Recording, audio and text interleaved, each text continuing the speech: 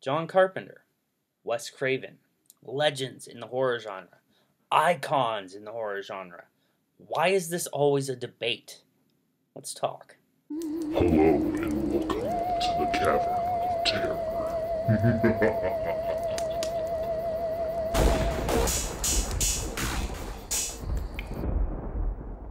Hey guys, and welcome back to the Cavern of Terror. I actually wasn't planning on doing a video tonight. It is currently 1.43 in the morning, and I have to go to bed.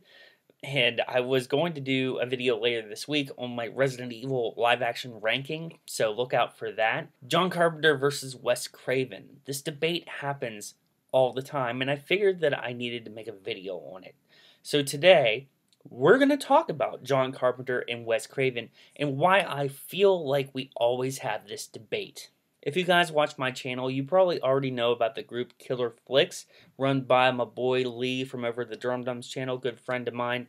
He has a very big, very popular horror group called Killer Flicks, where we talk about horror all all week, every day. Okay, I think it's safe to tell you I'm also an admin over there, so if you do decide to join, facebook.com backslash killer flicks, let them know that your boy sent you. I see this debate all the time over there. John Carpenter versus Wes Craven.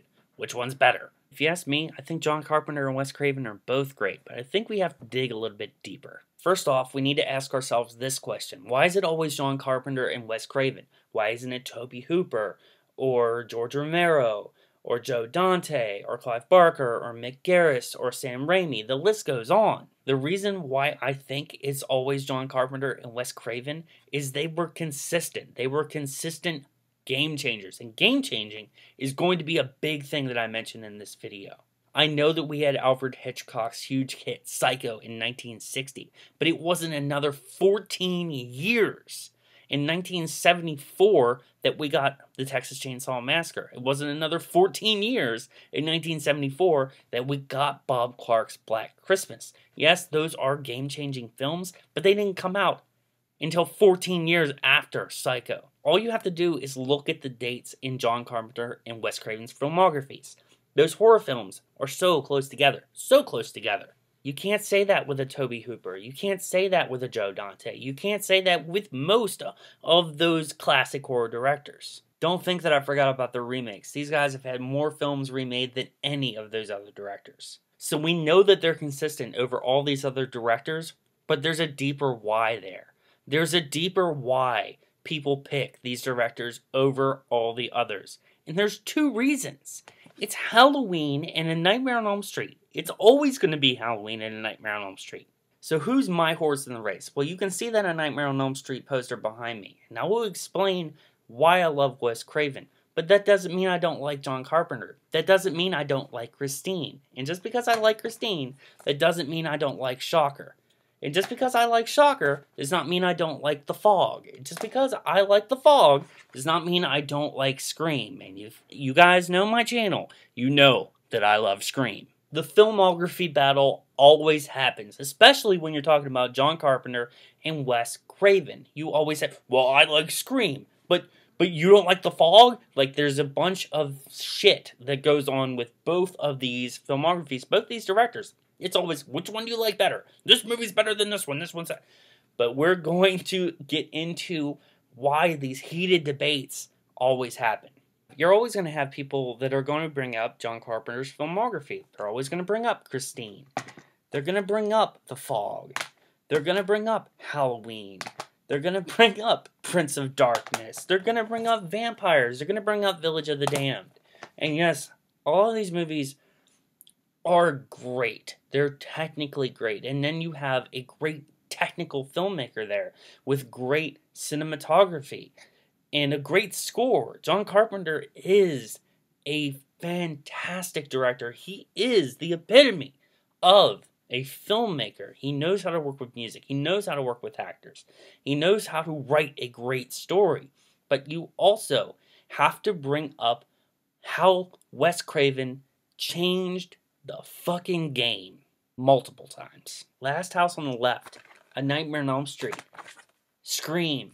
Three times this man has changed the way people look at horror. We can even dig a little bit deeper and go into the producing credits of Wes Craven. Look at the amount of horror films that he just put his name on and helped with creative input. If he wasn't there, do you think we would have a film like Feast? Where's the difference in your argument? Where is that I'm going to floor you opinion that makes John Carpenter better than Wes Craven? That makes Wes Craven better than John Carpenter? You have to dig deeper than just the surface of their filmographies. You have to go deeper than that. For me, the separation lies into two separate areas. And with Wes Craven, it's his work with female characters. Neve Campbell in Scream, Christina Ricci in Cursed, Heather Langenkamp in A Nightmare on Elm Street, Angela Bassett in Vampire in Brooklyn. The performances that Wes Craven gets out of those actresses are extremely strong, and I don't think you can say that in a John Carpenter film. I've heard this at nauseum. We know that Jamie Lee Curtis is great in Halloween. This is a great performance from her. But do we know who the female main character's name is in Christine? Can we say that Kirstie Alley really gave a great performance in Village of the Damned? As far as John Carpenter goes, I will admit it, he was able to leave the horror genre and make other films like They Live and Starman and Big Trouble in Little China and the amazing Kurt Russell Elvis TV movie. He's been able to transcend the horror genre, and that's huge. Not many horror directors have done that. The only one that I can really think of today that has done a movie that's not horror is James Wan. That's a huge accomplishment. That's one thing that John Carpenter can say that he's done that Wes Craven never actually had the opportunity to do. Now, I like Music of the Heart that came out in 1999. It was a film with Meryl Streep, and it was not horror whatsoever. That's why it was a failure with Wes Craven. His name was on a movie that wasn't horror, and no one wanted to go see it.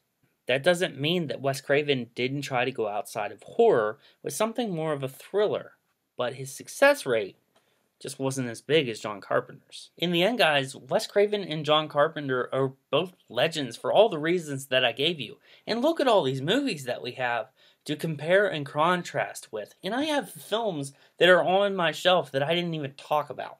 Anybody want to do a debate on these two movies? Guys, this video may end up making no sense, but it's something that I really needed to talk about. It's something that we're probably going to end up talking about again. And it's because of legends like Wes Craven and John Carpenter that we make these videos. So who do you guys think is better, John Carpenter or Wes Craven? Sound off in the comments down below. And if you pick Joe Dante, I might give it a heart. If you like this video, guys, make sure you give me a big fucking thumbs up. And if you're new to the Cavern of Terror, and you like my content, and you want to see all my future content, hit that subscribe button and that notification bell. That way you get notified about all my future videos. If you want to get yourself a badass Cavern of Terror t-shirt designed by the man Woody Bowen himself, check out my Spreadshirt store, also in that motherfucking description box. As always, guys, I would appreciate it if you followed me on social media. You can find those links down there as well. But most importantly, guys, my name's Zack. I love John Carpenter and Wes Craven. Stay metal, my friends.